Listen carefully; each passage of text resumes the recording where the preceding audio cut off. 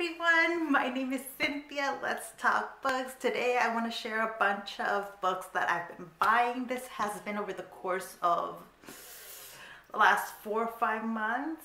Um, I haven't been buying a ton of books lately, um, but I have purchased some large parts of the, this haul are romance. So I'm going to save or try to save those towards the end and focus on the uh, nonfiction and more general fiction that I've been purchasing because I do want to share them with you all.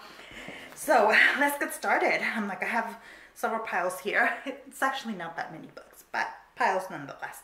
The first book I want to share is a nonfiction history book, Slave Revolt on Screen, The Haitian Revolution in Film and Video Games by Alyssa Goldstein Sepinwall.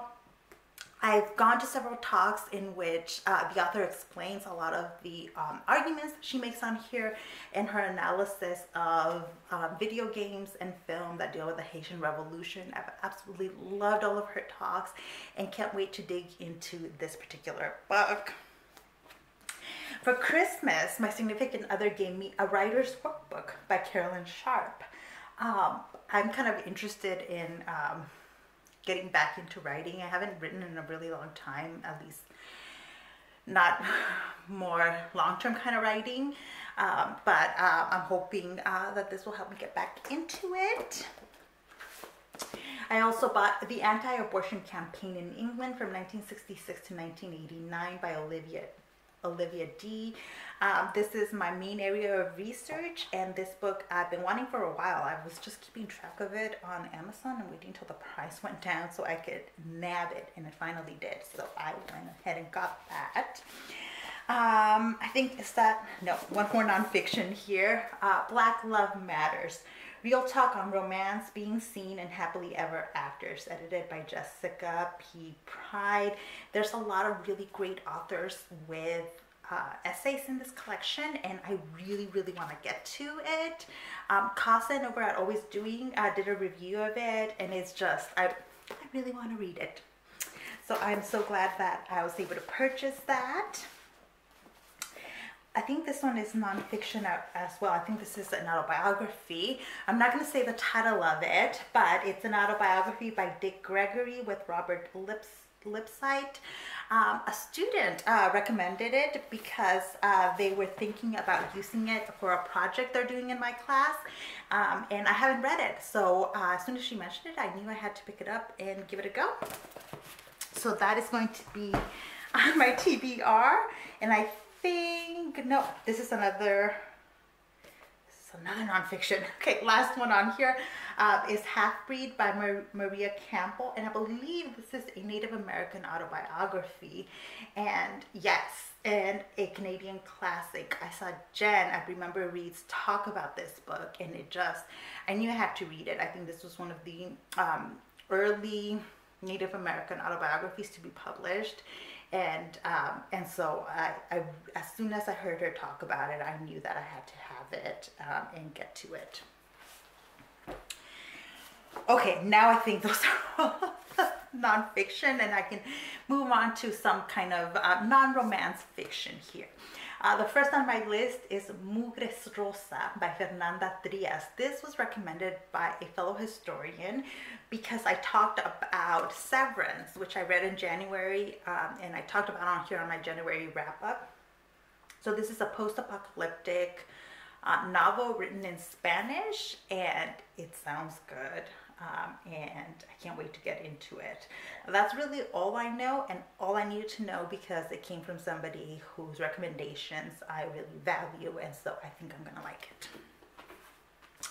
Next on my list is a cozy mystery. This is Body and Soul Food by Abby Collette. Uh, this is a new series what is it called? A Book and Biscuits Mystery. So this is the first in a new series and I really liked Abby Collette's other book, uh, A Scoop of scoop of something, I forgot, but it's another cozy mystery um, that just sounded good. So uh, I can't wait to dig into this. I also bought uh, Père Goriot by Honoré de Balzac. Uh, I watched uh, Brian's um, video on where to get started with Balzac. Um, and I haven't read this one, and this is one of the books that he talked about um, in there. So um, I'm really looking forward to digging into this eventually. I also purchased Goliath by Tochi Onyebuchi. I was just browsing the bookstore when I came across this, and Onyebuchi is an author that I've been interested in, but I haven't read any of his work. So um, this is set in the 2050s, and it just says, Earth has begun to empty. Those with the means and the privilege have departed the great cities of the United States for the more comfortable confines of space colonies. And that is all I needed to read to be hooked and to know that I wanted to read this. So I'm so glad I purchased this.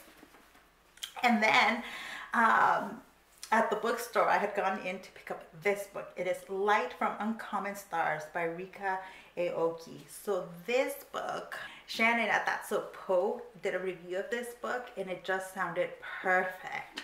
It is a sci-fi book set in California and I, mm, like reading the premise, I just knew I had to have it. So I went into a bookstore in San Diego specifically because they had signed copies of it and it just the premise sounded so good and I knew I was gonna like it. If Shannon liked it, I just know that I'm gonna like it.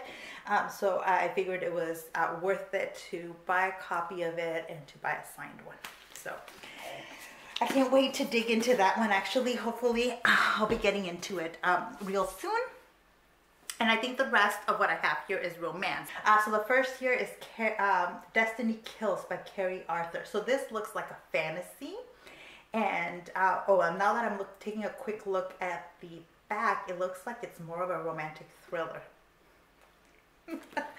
so I am game for that. And next is a Beverly Jenkins. And I had to make sure that I didn't have this before I ordered the bundle because I have several of Beverly Jenkins's books. But this one I didn't have. And I just love Beverly Jenkins's historicals. She does such a wonderful job with them. Um, so um, I went ahead and um, got the bundle.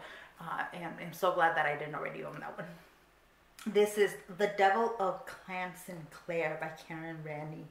Um, I used to read a lot of Scottish romances. um, so yeah, I, I this is uh, up my alley, uh, as one would say. This looks like it's a contemporary romance. The Inn at Eagle Point, a Chesapeake Shores novel by Sherryl Woods, and now a Hallmark Channel original series. Um, these are not always my cup of tea, but this is one of the risks you take when you order books in a bundle, uh, that there might be one or two in there that are not exactly fitting within your comfort zone. This is not necessarily out of my comfort zone. It's just not a book that I necessarily would have picked up on its own, but um, I'm glad, I am glad I have it. Next here is Playing with Fire by Deborah Fletcher Mello. This is a sultry Southern Nights.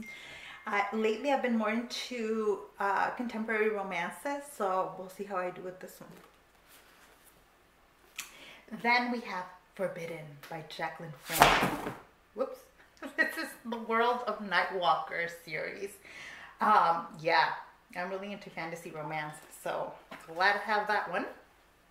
Then The Wicked Wallflower by Maya Rodale.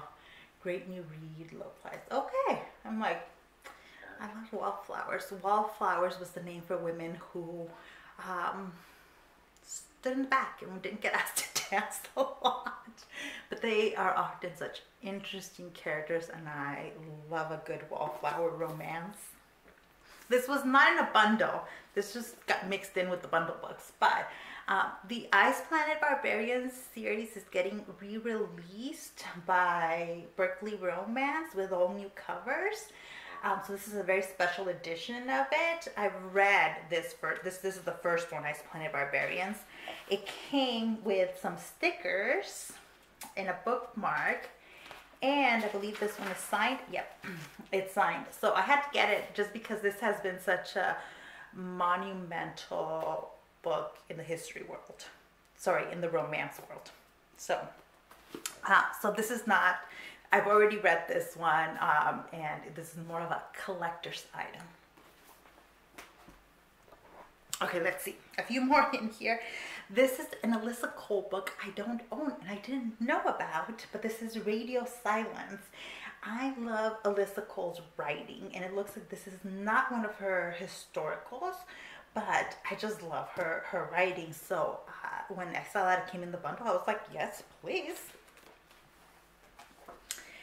This one is Sex and the Single Vamp, a vampire romance. I love a good vampire romance. This one's by Robin Covington. And let's see, what's the tagline is Love, Sex, Eternity. Dating never gets easier. I'm a sucker for a good vampire romance. Uh, this one is When Joss Met Matt by Ellie Cahill. So again, this is a contemporary romance and not one that I would have necessarily picked up on my own, but I will get to it eventually. And then we have Cherished by Maya Banks and Lauren Dane. Yeah, oh, so it's a co-author. Two all-new novellas that cross the boundaries of desire. Okay, sounds good to me. And then Nalini Singh. So I've read a couple of Nalini Singhs and I, I, I really like uh, the writing. This is um, Rock Addiction, a rock kiss novel. So I'm guessing this is a rock star uh, no, um, novel. The rock star romances are not some that I gravitate towards, but because it's written by Nalini Singh, I will definitely give it a shot. And then another Beverly Jenkins. Oh, and I also made sure that uh, I didn't already own this one. But this is Wild Rain, and this is part of the Women Who Dare series. And I actually have the other two books in this series. So this one basically completed my ownership of this series. So I was all for it. Uh, this one is set in Wyoming. And like I said, I just really like Beverly Jenkins's um, historicals. This one is all the Best Nights by Hannah Ernest. And again, this is probably one of those like kind of rock star musical contemporary romances. Um, and I'm willing to give it a shot. Next is Scoundrel of My Heart and Once Upon a Dukedom, uh, romance by Lorraine Heath. Um, sure, historical romances set in Regency England are very much my cup of tea. This one comes with a lot of high praise. I've seen a lot of really good reviews of this one. It is Careless Whispers by Cynthia Williams. So I'm really looking forward to this. Uh, and not just because I share a name with the author, although clearly she spells her name wrong. I spell mine with a C. Uh, but but that's, that's a little extra fun to, to have an author with the same name.